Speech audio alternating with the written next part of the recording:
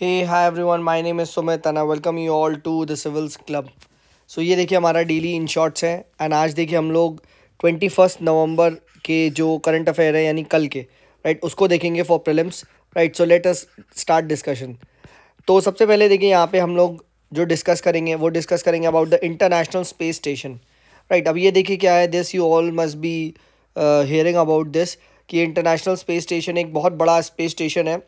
जो कि आपका अर्थ के ऊपर लो अर्थ ऑर्बिट में राइट आपका रिवॉल्व करते रहता है राइट एंड ये जो बहुत बड़ा सा आपका स्पेस स्टेशन है राइट यहाँ पे रिसर्च एंड डेवलपमेंट ठीक है, और भी कुछ सैटेलाइट का रिपेयर वगैरह, इस टाइप की आपको मतलब फैसिलिटीज़ मिलती हैं यहाँ प्रॉपर एस्ट्रोनॉट्स रहते हैं, ठीक है तो एक एक टाइप की आपकी एक मूविंग आप कह सकते हो, एक एक टाइप की पूरी एक लेबोरेटरी टाइप की है, ठीक है एंड ये देखिए क्या एक पर्टिकुलर कंट्री का है नहीं ये it is a combination of multiple countries remember कौन कौन सी एजेंसीज है? European space agencies NASA Japan की जक्सा कनाडा की एज वेल एज रशिया की रॉस्कोमॉस ठीक है तो प्लीज़ रिमेंबर ये इंपॉर्टेंट है. एंड इंडिया का देखिए नहीं है. मतलब इन द सेंस इंडिया इसका मतलब जो फाउंडिंग थे वो वो ये नहीं है. एंड इंडिया इस प्लानिंग की भैया टू थाउज़ेंड थर्टी फाइव तक हम अपना भी भेज देंगे इस टाइप से स्पेस स्टेशन एंड रिमेंबर ये uh, क्या है? This orbits earth every ninety minutes हर नब्बे मिनट के अंदर एक ही चक्कर लगा लेता है। राइट एंड चार हज़ार चार सौ टन का है। एंड रिमेंबर ये क्वेश्चन प्री में पूछा जाता है कि कौन से लेयर में है ये एटमॉस्फेयर के। सो so, ये आपका रहता है थर्मोस्फियर में। ठीक है प्लीज़ रिमेंबर दिस ठीक है थर्मोस्फियर में रहता है पहले ट्रोपोस्फियर आता है स्ट्रेटोस्फियर आता है फिर मीजोस्फियर आता है फिर थर्मोस्फियर आता है टी एस एम टी ठीक है तो ये थर्मोस्फियर में रहता है पूछा जा सकता है आपसे। एंड ये इतना बड़ा है कि जितना बड़ा एक फुटबॉल फ़ील्ड होता है ना उसके बराबर है। अब आप सोच सकते हो ये कितना बड़ा होगा। राइट तो रिमेंबर ये इंटरनेशनल स्पेस स्टेशन का है। अभी कुछ पच्चीस साल समथिंग हो गए इस कॉन्टेक्स में न्यूज़ में था। नेक्स्ट बात करते देखिए एमिशन गैप रिपोर्ट ये किसने निकाली है? ये हमने पहले भी पढ़ा यू के द्वारा। ठीक है यूनाइटेड नेशन इन्वायरमेंटल प्रोग्राम ये आपकी यू ने निकाली है। ठीक है, अब मैं आपको एक क्वेश्चन पूछता हूँ, बहुत अच्छा क्वेश्चन है। ठीक है, ये क्वेश्चन क्या है? ठीक है arrange the following in chronological order ठीक है क्रोनोलॉजिकल ऑर्डर में आपको ये अरेंज करना है।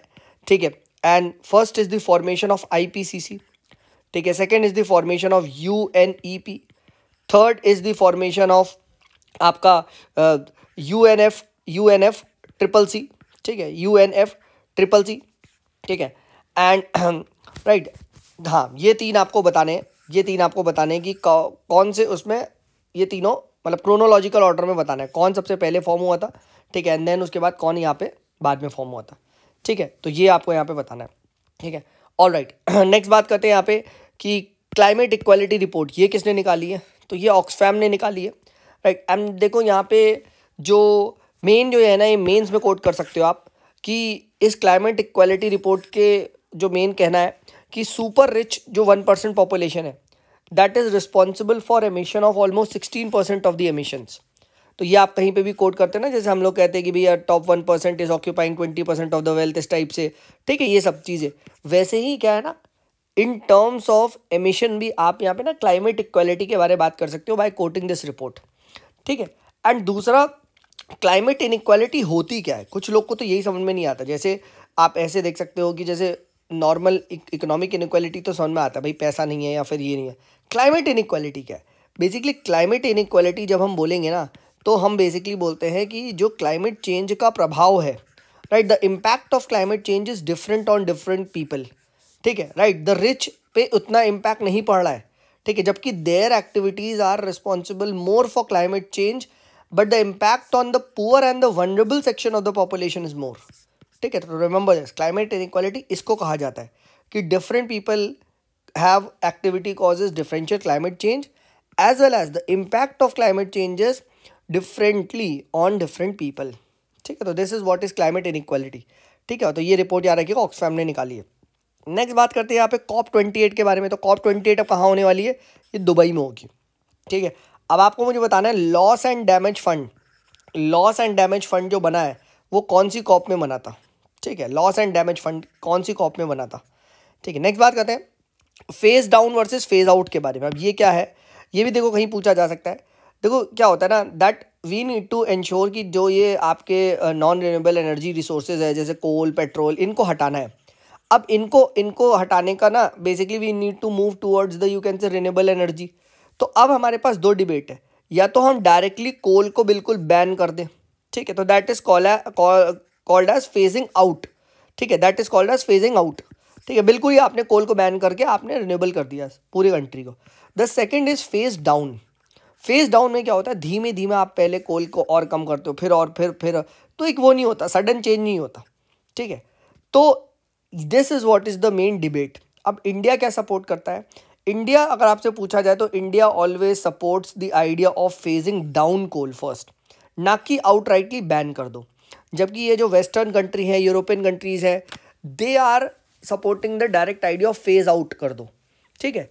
तो ये भी एक क्लाइमेट की डिबेट है, आपको पता होनी चाहिए, ये ना प्री में पूछ सकता है, ठीक है, कि इंडिया क्या सपोर्ट करता है, कि India supports phasing out of coal नहीं नहीं नहीं डायरेक्ट हम कोल को नहीं फ़ेज़ आउट कर सकते, क्योंकि हमारे यहाँ कॉन्सिक्वेंसेज हैं उसके राइट इकोनॉमिक सोशल पॉलिटिकल सारे कॉन्सिक्वेंसेज हैं राइट तो ये चीज़ ध्यान रखिएगा।